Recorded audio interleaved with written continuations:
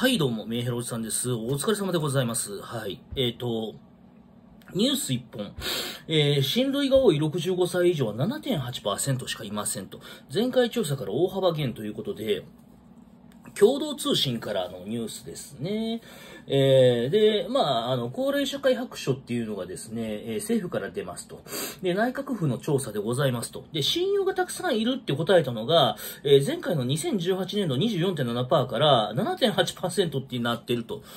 で、一人暮らしの高齢者が今後増加することが見込まれる中で、えー望まない孤独とか孤立に陥らないようにする対策が、えー必要だよっていうことが言われてますというところなんですね。で、人と話す頻度も高齢者は毎日話すっていうのが90%から72%になっているということで、えー、まあ一人暮らしの人ほど人と話す頻度が少ないよというところで、まあ今、おじさんのチャンネルのメインのテーマって、あの、仕事とかい、えー仕事と、家族以外の喋り場所を探しときましょうということを言うてるんですよと。あまあ喋り場所というか、まあコミュニ、ゆるコミュニティというかね、えーそういうのを結構テーマにしてて、で、まあ言うたらおじじさんみたいな、まあちょっと、あぶれ者みたいなのをですね、あの、それにまあ共感していただける方とかが集まって、まあ日に、えー日夜あ配信したりとか、こうやってダラダラおしゃべりしたりとかしてるんですけども、あもうこれからやっぱそっち方向に行くんだなっていうところですよね。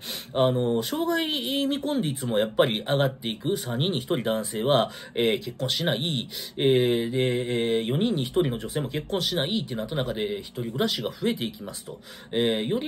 孤独、孤立が深まってくるよね。で、これで仕事がなくなってしまったら本当に孤独だよねっていうような中で、あのまあ、なんていうんですかね、えっ、と、コミュニティ、えーですね、えーを作ったりとか、あるいは、えーその、なんだろうね、あの、まあ、サークルでもいいと思うんですよ。簡単な話言えば、バレエサークルでも何でもいいと思うんですよ。ただ、まあ、やっぱコロナがあったから、そういう課外活動もなんかうまく機能しないみたいなところがあったりして、えー難しいですよね、というところだと思うんです。で、まあ、昔の友達っていうのはやっぱり、えーまあ、あの、障害未婚率が上がったとはいえ、やっぱりこう、えー、なんていうんですか？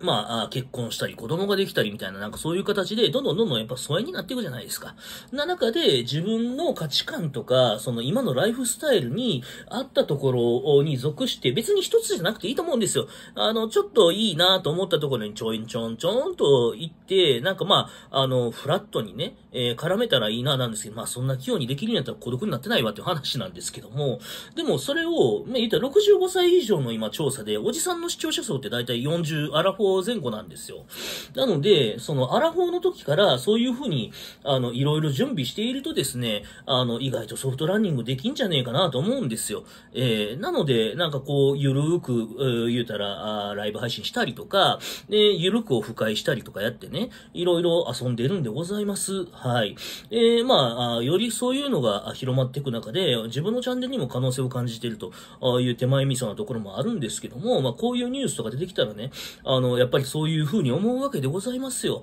あの、仕事がなくなった時に、えー、なんか高齢になった時に、本当に、えー生きがいって何だったっけってやっぱ思ってしまうわけですよね。社会から必要とされないよってなった時に、あそういう、えー、バカ話の一つでもできるような人とか、まあ、近所に茶飲み友達がいるだけでもですね、あの、すごい楽しくなってくると思うんです。あと、まあ、都会であれば健康麻雀とかに行けばですね、おじいちゃんおばあちゃんめちゃめちゃいるわけですよ。えー、とか、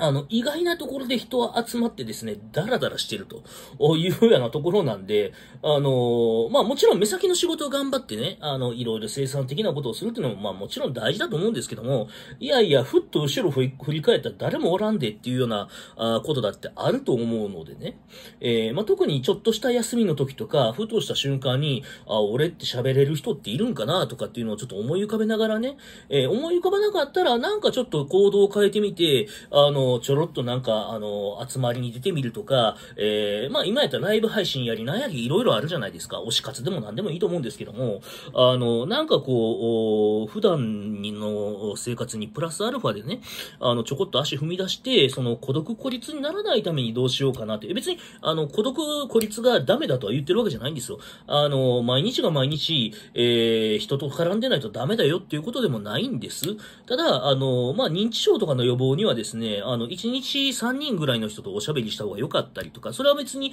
あの、オンライン、オフラインから関わらずですね、えーおしゃべりした方が良かったりであるとか、あのーまあ、あある程度人と話すことによって、あのーなんですかね、えー精神衛生上のこの健康状態が保たれるっていうのがデータとしてあるんで、まあそういうのの、えー啓蒙も兼ねてね、えーお話しさせてもらった次第でございます。はい、以上です。